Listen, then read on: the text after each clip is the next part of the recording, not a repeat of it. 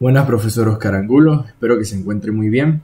Por aquí es Erico Manuel Martínez Varela y hoy voy a hablar sobre la actividad formativa número 4 del curso de mecánica de los materiales. Ok, para esta actividad se nos presenta el siguiente ejercicio, que nos dice que cada vez restan menos días para el pitazo inicial al partido inaugural entre los seleccionados de Qatar y Ecuador en el Mundial y no obstante, por exigencias de la FIFA, se debe reforzar el número de columnas en las tribunas del estadio de Doya, sede del partido inaugural, tres de la fase de grupos y final y tres de la fase de grupo y final. Para ello se plantea utilizar vigas sobrantes de la estructura del techo, cortándolas en una longitud mínima de 4 milímetros, perdón, de 4 metros y máxima de 6 metros, cuyo perfil se muestra en la figura número 1. Este, y hay que unirlas con soldadura eh, dos de estas vigas eh, de la misma longitud buscando el perfil para formar una columna que pueda soportar una carga permisible mayor a 300 newtons. Ok, este, se nos presenta también que debemos elegir a nuestro gusto el perfil que queramos utilizar, el tamaño del perfil C. Y este, también que expuesto a lo anterior, usted deberá diseñar el modelo de una columna con todas las especificaciones y exigencias descritas teniendo en cuenta un factor de seguridad de 2,4. Ok, aquí tenemos el diseño del perfil que nos está dando. Entonces procedí a realizar el diseño de esta viga, de esta columna, perdón. Y tenemos que yo lo que hice fue como paso 1, o sea, unificar las dos, los dos perfiles, las dos vigas, espalda con espalda, obteniendo un perfil de esta forma, como está aquí presente en el modelo 1. Este, y para la columna lo realicé con un extremo fijo en la parte inferior de la columna y libre en la parte superior, donde se nos denota una carga P, que sería la carga crítica este, que puede soportar esta. Como longitud de esta columna tomé 5,18 metros y elegí el perfil C250 por 22,8, que es este que está aquí en la tabla que nos dejó en el aula. Ok. Entonces, procediendo a la solución del resultado, como primer paso lo que debemos hacer es calcular las inercias totales, ya que las inercias que nos arroja la tabla son las inercias nada más del perfil C. Al unificar dos vigas con este perfil, pues nos va a quedar esta forma, el cual tiene otros ejes diferentes a los del perfil C, porque se trasladan al centro, al centroide como tal de, de la figura, entonces, pues por ende, las inercias son diferentes. Ok, entonces, por tabla, tenemos que el centroide, o sea, del perfil C, es de 15,8 milímetros. La inercia en X es de 27,7 por 10 a la 6 milímetros a la 4. La inercia en Y es de 0,912 por 10 a la 6 milímetros a la 4 también. El área es igual a 2880 milímetros al cuadrado y la BF es igual a 65 milímetros. Entonces, podemos observar que para ambos casos, o sea, me refiero a este perfil unificado por soldadura y el perfil C, nuestro eje X coincide, ese nunca cambia. Entonces, por ende, lo que debemos hacer es este, duplicar esta inercia, ya que tenemos la inercia de esta cara, de este lado, y la inercia de este lado. Entonces, por lo tanto, nuestra inercia en X total va a ser igual a dos veces la inercia X. Entonces aquí resolvemos, tenemos 2 por 27,7 por 10 a la 6 y eso nos da un resultado de 55,4 por 10 a la 6 milímetros a la 4. Ok, la parte de la inercia en Y total sí lleva un poquito más de análisis, pero tampoco es tan complicado. Este, aquí lo que debemos observar es que el eje Y de las, del perfil C lo tenemos ubicado en esta parte de aquí, en la línea amarilla que denoté. Y el eje como tal de toda la figura, el eje Y, es este que tengo aquí en rojo. Por lo tanto, él tiene una traslación, o sea, tiene una separación al eje original. Entonces, para analizar esto, utilizamos, bueno, primero hay que multiplicar dos veces, ya que tenemos dos caras del perfil, por la inercia en Y, obviamente, más aquí aplicamos el teorema de los ejes combinados, que nos dice que A, que es el área, por la distancia que se separa en esta al cuadrado. Entonces, vamos a conseguir esa distancia. Si nos ponemos a observar esa distancia, ya, eh, bueno, en el, en el perfil C, eh, la distancia del centroide se lleva con respecto a la espalda de esta C, que sería esta parte de aquí, ¿verdad? Entonces la distancia es el X centroidal, que es de 15,8 milímetros. Si nos ponemos a observar, pues es la misma distancia que hay desde el eje Y hasta el eje, desde el eje YC hasta el eje Y principal de, esta unión de, de la configuración. Entonces, gente, lo que vamos a hacer es utilizar el valor de X centroidal, que es de 15,8 milímetros. Que sustituimos y tenemos 2 por la inercia en Y, que es 0,912 por 10 a la 6 milímetros a la 4, más el área, que es de 2880 milímetros cuadrados, por la distancia que hay de un eje al otro, que es de 15,8 milímetros, esto elevado al cuadrado. La distancia es la que va al cuadrado obteniendo como resultado un valor de 3,262 por 10 a la 6 milímetros a la 4. Ok, ya obtenías la inercia, podemos pasar al siguiente paso, ya que en esta necesitábamos observar, o sea, aquí en esta, en esta parte, necesitábamos observar qué parte de, nuestra, de nuestro perfil, de nuestra columna, es la que tiene menor inercia, ya que por esta, el área en la que tiene menor inercia es por la que se tiende a, doblar eh, para hacer el pandeo. Ok, entonces, para, eh, como segundo paso tenemos el cálculo del radio de giro mínimo. En este, pues en la fórmula es de la raíz de la inercia mínima entre el área. Entonces ya pudimos observar que la inercia mínima es la inercia en Y, la inercia en Y total. Entonces es la inercia en Y total entre el área. Sustituimos y tenemos que es 3,262 por 10 a la 6 milímetros a la 4 entre el área que es 2880 milímetros al cuadrado, obteniendo como resultado el valor de 33,65 milímetros para el radio de giro mínimo. Seguido de esto procedemos a realizar la relación de esbeltez real. Entonces para ello nos apoyamos del tipo de extremos, en el tipo de extremos de que tenemos, disculpe, profe, este, para esto nos apoyamos en los extremos que obtuvimos, o sea, que, elegimos para nuestra figura, para nuestra columna como tal. Entonces, como hicimos este, por la parte inferior de la columna un extremo fijo y por la parte este, superior el extremo libre, entonces esto nos dice, por obteniendo lo de los libros, que K, el, factor K o el valor de K va a ser igual a 2. Entonces, el SR, que es la relación de esbeltez real que queremos obtener, es igual a K por L entre el radio de giro mínimo. Que K pues es el, valor que acabamos de obtener. El L es la longitud y el R es el radio mínimo. Ok. Entonces sustituimos y tenemos 2.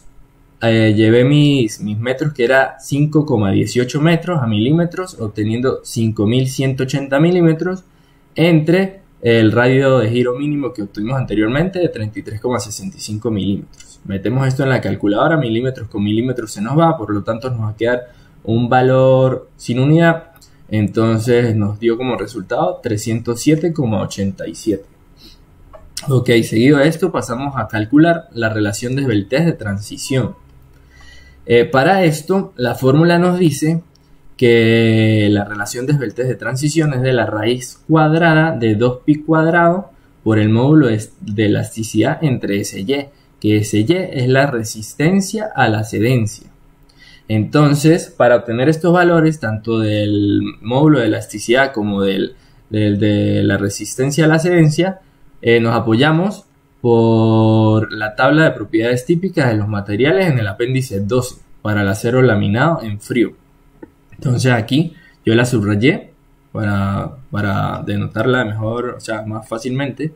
Entonces tenemos que el SY o la resistencia a la cedencia es, tiene un valor para el acero laminado en frío de 520 megapascales y tiene un módulo de elasticidad de 190 gigapascales. Entonces ya obtenido esos valores que los anoté aquí, sustituimos y entonces tenemos que la raíz cuadrada de 2pi cuadrado por 190, eh, los megapascales los llevo perdón, los gigapascales los llevo a pascales por 10 a la 9. Y luego ponemos la resistencia a la cedencia, que es 520 por 10 a las 6 pascales, ya que estaba denotado en megapascales. Ok, resolvemos esto. También se nos elimina pascales con pascales y obtenemos un valor de 84,93. Ok. Ya obtenido estos dos resultados, entonces comparamos ambos. Y eh, tenemos entonces que SR es igual a 307,87 y CC es igual a 84,93. Al compararlo podemos ver que SR es, es mayor a CC. Entonces cuando SR es mayor a CC nos dice que es una columna larga y por lo tanto debemos analizarla con la ecuación de Euler. Entonces con la ecuación de Euler pues para poder obtener la carga crítica. Entonces pasamos al siguiente paso que es cálculo de la carga crítica por ecuación de Euler. Ok, la carga crítica es igual a pi al cuadrado por el módulo de elasticidad por el área entre el SR al cuadrado. Entonces, sustituimos los valores porque ya los tenemos todos. Eh, y tenemos que PCR o la carga crítica es igual a pi cuadrado por el módulo de elasticidad que es 190 por 10 a la 9 y llevo este, los milímetros porque el área estaba denotada en milímetros que era 2880 milímetros en todo al cuadrado. Entonces lo llevo a metros al cuadrado obteniendo un resultado de 0,00288 metros al cuadrado. Y esto lo divido entre el SR obtenido anteriormente que era de 307,87 al cuadrado. Al obtener nuestros resultados con la calculadora nos da un valor de 56.978,51 newtons, o sea que es bastante resistente. Esto lo lleva a kilonewtons para tener un valor más pequeño, entonces la carga crítica me da de 56,978 kilonewtons. Ok. Seguido de esto, pues nos dan un factor de seguridad por el cual nos va, nos va a resultar una carga crítica permisible. Entonces, la fórmula como tal es simplemente este valor de la carga crítica obtenida lo dividimos entre ese factor de seguridad que nos dan. Entonces, este, ponemos 56,978 kilonewtons entre el factor de seguridad de 2,4 y obtenemos una carga crítica permisible de 23,74 kilonewtons. Ok. Ya, ya obtuvimos todos nuestros resultados y seguido de esto pues desarrollé como una especie de diagrama del comportamiento que tiene el pandeo en esta columna al aplicarle la carga. Entonces podemos este, observar que al aplicar una carga, aquí en realidad es carga crítica, eh, una carga crítica que es la que obtuvimos, se nos va a pandear de esta forma. Se nos va a inclinar desde la parte de abajo se, sostiene por lo que es un apoyo fijo, perdón, un, extremo fijo. Y como arriba está libre, pues al presionar la, placa, la, columna va a tender a hacer este movimiento, que es el que, el que traté de, mostrarles ahí. Ok, entonces bueno, obtenido todo esto, ya podemos concluir esta parte del, del, del ejercicio. Para el modelo 1 con las dos vigas, de las dos vigas soldadas por la parte, por la espalda del perfil C. Entonces, la conclusión que, desarrollé fue que podemos concluir que la columna sí es capaz de soportar la carga permisible solicitada para el presente estudio, ya que en la solicitud de la FIFA nos pide reforzar el número de columnas en el estadio de Doya para poder soportar una carga permisible mayor a 300 newtons. Entonces, a lo que obtuvimos pues nuestros resultados, podemos finalizar y con un resultado satisfactorio de que, que esta columna puede soportar una cantidad de 23,74 kilonewtons. Por lo tanto, la columna es apta para los requisitos deseados y puede soportar cualquier carga menor, igual, menor o igual a los 23,74 kilonewtons antes de ocurrir el pandeo. Ok. Entonces, pues yo qué hice. Eh, ahora les presento un modelo 2, ya que este, hay dos opciones de unir estas dos vigas de perfil C. Una era espalda con espalda, que fue la que les mostré anteriormente, y la otra es esta, que como tal es como cara con cara, formándonos este perfil que como tal es más compacto, o sea, hace una estructura como de, de cuadrado, de caja. Entonces, bueno, hice este modelo con los mismos datos, lo único que cambié fue la forma de soldar y eh, también tomé la misma longitud de 5,18 y el mismo perfil C de 250 eh, por 22,8 creo que es. Ajá, 8. Ok, entonces, hacemos lo mismo que en el caso anterior. Como primer paso, cálculo de las inercias totales. En este, en este, en este tipo de perfil, uniéndolo cara con cara, la inercia en X se nos mantiene, pues porque el eje en, X no varía, siempre está en el mismo sitio. El eje Y, pues ya sabemos que está en esta parte para el perfil C, pero pues también se nos traslada al perfil, al, eje Y del, perfil completo, de, la configuración realizada. Entonces, con los mismos datos que arroja la tabla, empezamos a calcular la inercia ya sabemos que la inercia total en X se mantiene. Entonces sigue siendo de 55,4 por 10 a la 6 milímetros a la 4. La inercia en Y, esta sí es un, no mucho, pero es, un poquito más compleja que la anterior, calculada. Pero simplemente es porque, este, o sea, la obtenemos de la misma forma. Eh, aplicamos que el la inercia en Y total es igual a dos veces la inercia en Y de la tabla, que es la que trae el perfil en C, más otra vez el, teorema de, ejes compuestos y conjugados. Entonces tengo que el área por la distancia al cuadrado, pero aquí la distancia se ve desde, de otra forma, de otra perspectiva, ya que la distancia es la que hay desde este punto a este extremo. Anteriormente habíamos dicho que la distancia simplemente era el, x centroidal, ya que el x centroidal, se toma desde la espalda del, de, AC hasta la parte central de, o sea, donde está el eje Y. Pero en este caso, pues al ser todo esto, nosotros conocemos cuánto vale todo esto, ya que este es el ancho, que es el BF, igual a 65 milímetros, que también nos lo da la tabla. Y como también conocemos el X centroidal, para ver la distancia que hay del YC, en este caso, al, a, mi y, a mi eje Y normal, necesito este tramito que está aquí. Entonces lo que hago es simplemente este, hacer una diferencia entre el ancho, que es el BF de 65 milímetros, y el X centroidal, que es de 15,8 milímetros. Entonces eso es lo que hacemos y sustituimos. Entonces nos queda que 2 por 0,912 por 10 a la 6 milímetros a la 4 más el área que es de 2880 milímetros al cuadrado por este, la diferencia de la distancia que es de 65 milímetros menos 15,8 milímetros al cuadrado. Aquí tuve un error de tipografía y es, es en realidad menos. Ok entonces esto nos da un resultado de 15,767 por 10 a la 6 milímetros a la 4. Si nos ponemos a comparar, pues obtenemos otra vez que la inercia en Y es la inercia menor. Entonces procedemos al siguiente paso, que es el cálculo del radio de giro mínimo. Entonces R es igual a la raíz cuadrada de I mínima de la inercia mínima entre el área. Entonces al sustituir esto, tenemos 15,767 por 10 a la 6 milímetros a la 4 entre 2880 milímetros al cuadrado. Los milímetros como tal se cancelan porque nos van a quedar milímetros al cuadrado y con la raíz cuadrada pues se van los milímetros al cuadrado y nos quedan milímetros normales. Entonces nos queda un valor de R igual a 73,99 milímetros.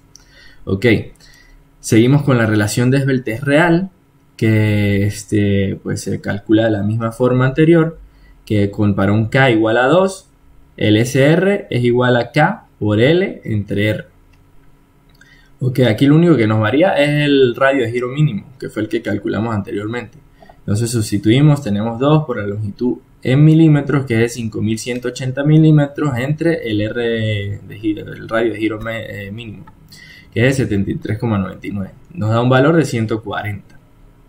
Ok, al obtener esto, la relación de, de transición si no nos cambia porque son los mismos valores que obtenemos de la tabla para el acero laminado en frío. Entonces nos da el mismo CC igual a 84,93. Ok, entonces ahora en el paso 5, bueno, anteriormente pues ya sabemos que debemos comparar ambas relaciones del desveltez. Entonces tenemos que SR es igual a 140 y CC es igual a 84,93 y sigue siendo SR mayor a, a CC. Entonces pues volvemos a repetir el caso que dice que cuando SR es mayor a CC, pues es una columna larga y por lo tanto debemos aplicarlo, aplicar la ecuación de Euler. Entonces tenemos como quinto paso el cálculo de la carga crítica por ecuación de Euler. Volvemos a hacer lo mismo pero sustituyendo los valores que tenemos en este, en este modelo. Entonces al sustituir los valores pues tenemos que pi cuadrado por 190 por 10 a la 9 que es el módulo de elasticidad por este, el área en metros para que se nos puedan cancelar todas las unidades. Por eso es que se cambia. Entonces tenemos 0,00288 metros al cuadrado entre 140 al cuadrado. Obteniendo un resultado de 275.543,24 newtons. Para obtener un resultado más pequeño, pues lo llevo a kilonewtons, que dándonos que es por 10 a la 3, esto por 10 a la 3, entonces, bueno, sería en realidad 275,543 por 10 a la 3 newtons, pero es lo mismo que poner kilonewtons. Y como sexto paso, pues le aplicamos el factor de seguridad que nos están dando de 2,4 para hallar la carga crítica permisible. Entonces, PCR entre el factor de seguridad y nos da 275,543 kilonewtons entre 2,4 para un resultado de 114,8 kilonewtons. Aquí podemos observar que a comparación del caso anterior, pues nos da que esta, esta configuración de, las dos vigas soldadas resiste mucho más que la anterior. Entonces, para ello, realicé la siguiente conclusión. Entonces dice, al finalizar el estudio de ambas configuraciones y comparar las mismas, podemos concluir que al soldar ambas vigas con un perfil C250 por 22,8, la configuración capaz de resistir más cargas la obtenía en el modelo 2, ya que se pudo observar que el modelo 1 era capaz de resistir una carga crítica de 56,978 kN y una carga permisible para un factor de seguridad de 2,4 de 23,74 kN. En cambio, para el modelo 2 se pudo obtener que la carga crítica capaz de aguantar la columna antes de que ocurra el pandeo es de 275,543 kN y pues una carga permisible para un factor de seguridad de 2,4 de 114,8 kN. Entonces, pues, pues nada, nos, queda es concluir que, que para obtener como querer en un proyecto una viga con mucho más resistencia para una unión de dos una columna, perdón, anteriormente una columna de mucha más resistencia eh, con la soldadura de dos vigas de perfil C, pues el modelo o la configuración más óptima es esta que estamos viendo aquí, que es cara con cara, porque esta que tenemos aquí arriba, que es espalda con espalda, tiene una menor resistencia. Para el ejercicio, ambas son satisfactorias para aguantar los 300 newtons que nos está pidiendo la FIFA. Y pues eso sería todo. Entonces, ambas vigas, ambas configuraciones son aptas para la solución del ejercicio. Y, nada, espero que esté muy bien, profesor. Eh, hasta la próxima. Saludos.